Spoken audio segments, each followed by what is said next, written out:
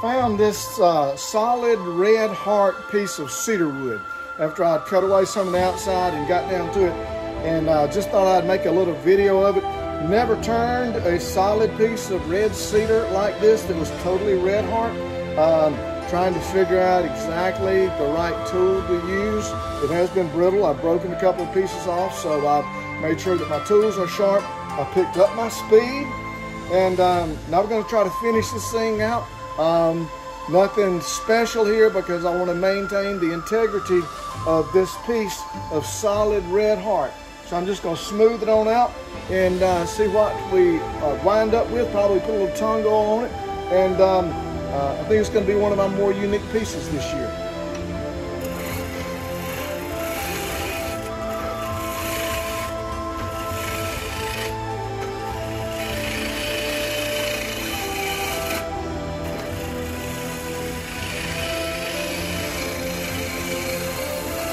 Yeah, you get down to this particular point and um, with this smoothing tool, smooths right out. Now I got to get this tip of it off and um, and then sand it. And we're gonna see what it looks like.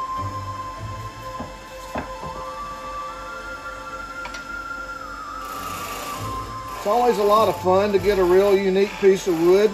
Uh, again, if you've been watching any of my videos, you know that I'm very much a rank amateur at this and I'm learning. I want to say special thanks to so many of the people who have uh, put their videos on YouTube. And um, uh, I've been able to learn an awful lot in a short amount of time. And at some point in the future, I hope I'll be halfway as good as some of these folks that I've learned from along the way. All right, so now we're going to uh, put a little sander on this first. We're going to start with a little uh, 200 grit. Kind of smooth this thing out. Pick up the speed just a little bit here.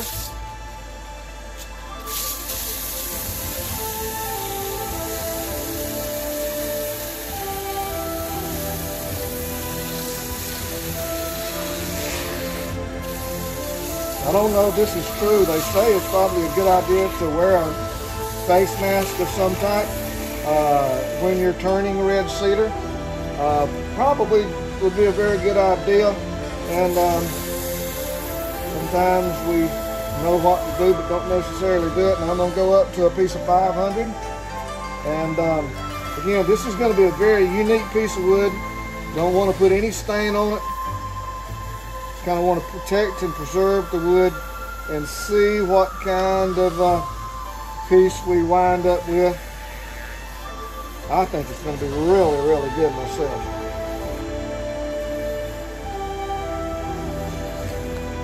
All right, let me grab a little tung Let's see what we're going to do with this thing.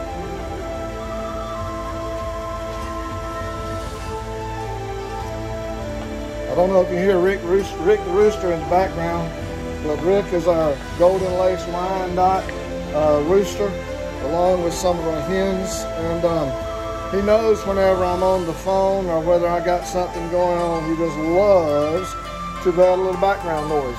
So here we are. Oh, I think you're gonna like it. I think I'm gonna like it, that's for sure.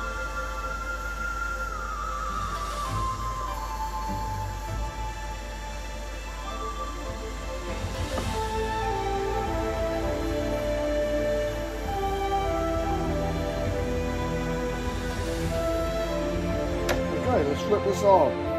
Look at that beautiful piece of red cedar. Perfect red heart. And I've never done one like this, but hopefully this won't be my last one. Thanks for watching. Click my subscribe button and uh, punch the like button if you did.